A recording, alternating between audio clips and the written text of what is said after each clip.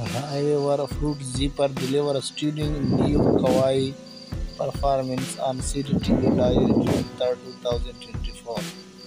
Fruit Zipper delivered a captivating performance of new kawaii during the CDTV Live 2 Hour special.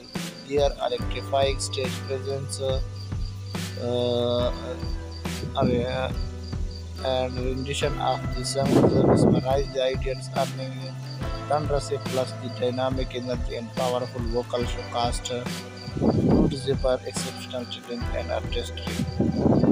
A new kawaii soared to the new height under their uh, scale performance, leaving a lasting impression on viewers. If you want more information about this topic, then stay tuned with my channel and also subscribe my channel. Thank you.